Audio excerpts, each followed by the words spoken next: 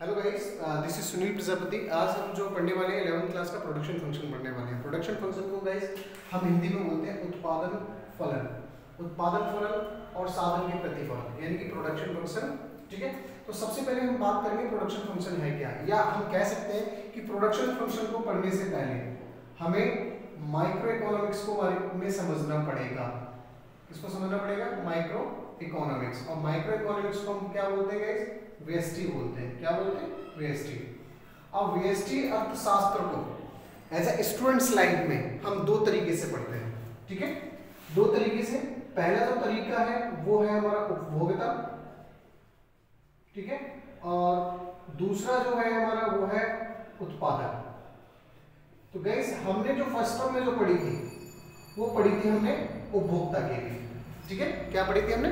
उपभोक्ता के लिए। लेकिन अभी जो हम पढ़ने वाले हैं इलेवंथ क्लास का सेकेंड टर्म वो एज अ प्रोड्यूसर पढ़ेंगे यानी कि उत्पादक पढ़ेंगे। तो सबसे पहले उत्पादक की अगर बात की जाए तो माइक्रो इकोनॉमिक्स के बेसिक्स की, की हम जो है वीडियो इंट्रोडक्शन की अलग से बनाएँगे। हमें आज जो बात करने वाले हैं वो करने वाले हैं उत्पादन फलन की। तो कैसे उत्पादन फलन देखो है क्या हमारा? उत्पादन फलन जो है हमारा उत्पादन फलन का जो संबंध है हमारा वो भौतिक उत्पादन यानी कि हमारे जो साधन होते हैं यानी कि सिंपल सी बात है अगर मान लो मैं जो है इस इस मार्कर का प्रोडक्शन करना चाहता हूँ। क्या करना चाहता हूँ? इस अगर मार्कर का मुझे प्रोडक्शन करना है तो प्रोडक्शन करने के लिए मुझे क्या करना पड़ेगा? मुझे रो मटेरियल्स की ज़रूरत पड़ेगी, यानी कि कच्चे माल की आवश्यकता पड़ेगी। और जब कच्चे माल के माध्यम से जो भी मैं मार्कर बन के तैयार होगा तो तैयार होने की जो प्रोसेस होता है, ठीक है, उसी को हम प्रोडक्शन फ़ंक्शन कहते हैं, ठीक है? फॉर एग्ज़ाम्पल के तौर पर अगर हम बात करें तो आप एक एग्ज़ाम्पल ले लेते हैं किसी भी चीज़ का। जैसे कि आटे, आटा है।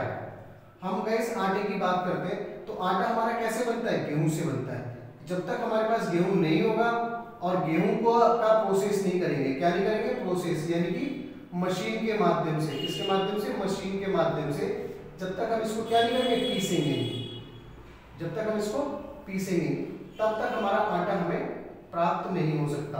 तो कहने का मतलब है कि इन दोनों के बीच, गेहूँ से आटा बनाने के लिए जो प्रोसेस फॉलो किया जाता है उसी को हम बोलते हैं यहाँ पे उत्पादन फलन। क्या बोलते हैं उत्पादन फलन। That is clear maybe अच्छी से चीज़ों को समझना बहुत ज़्यादा ज़रूरी है। अब इसकी डेफिनेशन की अगर बात करें कि उत्पादन फलन हमारा क्या होता है तो भाई इससे उत्पादन फलन क्या है? अभिप्राय उत्पादन साधन या भौतिक उत्पादन के बीच पाए जाने वाले संबंध, यानी कि गेहूँ हमारा जो इनपुट बोलेंगे हम जिसको, और इनपुट जो है हमारा क्या है? गेहूँ है, और आटा जो है हमारा वो आउटपुट है।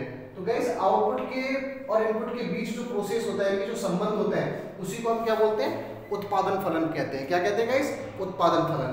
अब बात आती है कि इस उत्पादन फलन को की अगर बात करी जाए, यानी कि उत्पादन। अब उत्पादन गैस दो तरह का होता है। उत्पादन की अगर बात करें तो उत्पादन को हम दो पार्ट्स में डिवाइड करते हैं। पहला है हमारा अल्पकाल और दूसरा है दीर्घकाल। गैस अल्पकाल या दीर्घकाल। देखो, सबसे पहले अल्पकाल और दीर्घकाल की अगर बात करें, अल्पकाल का मतलब होता है कुछ समय के लिए ओके कुछ समय। आप कह सकते हैं कुछ समय क्या हो सकता है? दो महीने हो सकता है, चार महीने हो सकता है, छह महीने हो सकता है, आठ महीने हो सकता है, दस महीने हो सकता है, बारह महीने हो सकता है ओके अठारह महीने हो सकते हैं। तो जब हम किसी भी कार्य को जो है कुछ समय के लिए करते हैं गैस ठीक है? तो उसके अंदर हम जो है अल्पकाल का यूज़ करते हैं। यानी कि इसको बोलते हैं अल्पकाल उत्पादन। क्या बोलेंगे? अल्पकाल उत्पादन और दूसरा जो है दीर्घकाल उत्पादन। लेकिन अल्पकाल उत्पादन और दीर्घकाल उत्पादन को पढ़ने से पहले हमें उत्पादन के कारकों को भी पढ़ना है। किसको पढ़ना है? उत्पादन के कारक। अब गैस उत्पादन के कारक की अगर बात करें तो उत्पादन के हमारे दो कारक होते हैं। ठीक है? दो कारक कैसे होते हैं? सबसे पहला जो कारक होता है गैस वो होता है स्थिर कारक। क्या होता है? स्थिर कारक। और दूसरा कारक कारक जो होता है, उसको हम बोलते हैं परिवर्तित कारक। ठीक है? अब परिवर्तित कारक और स्थिर कारक। देखो, स्थिर कारक हमारा क्या होता है? स्थिर कारक की अगर बात करें तो स्थिर कारक हमारे वे सभी साधन होते हैं जो उत्पादन के समय परिवर्तित नहीं होते हैं। क्या नहीं होते? जो उत्पादन के दौरान जिनमें किसी भी तरह का कोई भी चेंजेस नहीं आता है। ठीक है? तो स्थिर कारक हमारे कौन से कारक होते हैं? वे कारक जिन्हें उत्पादन के समय किसी भी तरह का, जिनमें किसी किसी भी तरह का कोई भी चेंजेस नहीं आता है। लेकिन परिवर्तित कारक की बात आती है। तो परिवर्तित कारक हमारे वे सभी साधन हैं, जब हम उत्पादन को में वृद्धि करना चाहते हैं। किसमें वृद्धि करना चाहते हैं? उत्पादन में जब हम वृद्धि करना चाहते हैं तो जब उत्पादन में वृद्धि करेंगे तो परिवर्तित कारक में भी हमें वृद्धि करनी पड़ेगी। लेकिन एक समय ऐसा आएगा गाइस जब हम परिवर्तित कारक में वृद्धि करेंगे, उसके बावजूद भी जो है, हमारा उत्पादन जो है वो क्या हो जाएगा? कम हो जाएगा। क्या हो जाएगा? कम हो जाएगा। अब इस चीज़ को समझने के लिए हमें अलग से जो हम क्या करेंगे, एक इसका लॉ पढ़ेंगे। क्या पढ़ेंगे? Law of variable proportion method यानी परिवर्तित कारक का नियम। लेकिन वो मे भी हो सकता है नेक्स्ट वीडियो में हो, या मे भी हो सकता है कि हम अभी इसी वीडियो में पढ़ाएँ। ठीक है? तो हम सबसे पहले हमें समझना है छोटी छोटी चीज़ें को, क्योंकि इकोनॉमिक्स जो है कभी भी बेटा रटने की चीज़ नहीं है। क्या नहीं है? इकोनॉमिक्स को कभी भी रटा नहीं जाता। इकोनॉमिक्स को अगर हम जितने बेहतर तरीके से समझेंगे, वो ज़्यादा बेहतर रहेगी। और हिंदी मीडियम स्टूडेंट्स के लिए सबसे बड़ी प्रॉब्लम्स रहती है लैंग्वेजेस की, भाषा की। ठीक है? तो भाषा का भी ध्यान हमें देना बहुत ज़्यादा ज़रूरी है।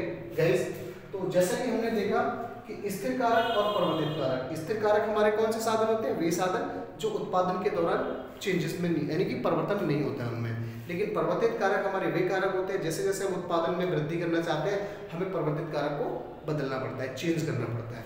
लेकिन ये दोनों फ़ंक्शन अगर हम बात करते हैं तो ये दोनों फ़ंक्शन हमारे कहाँ पे काम करते हैं?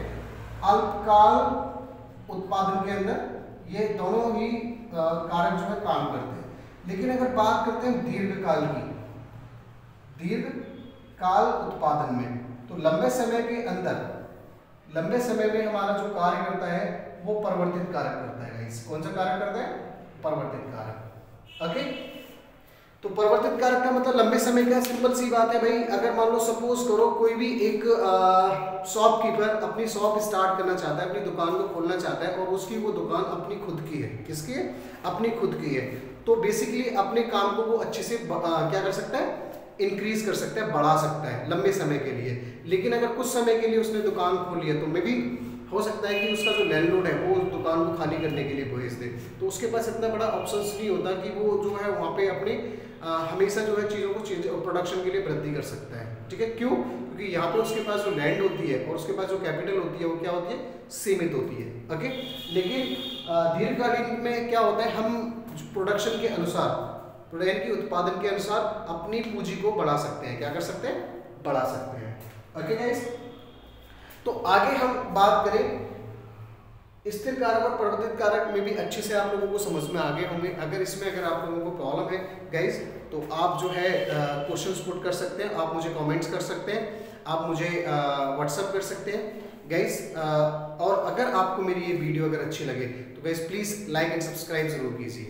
Okay thank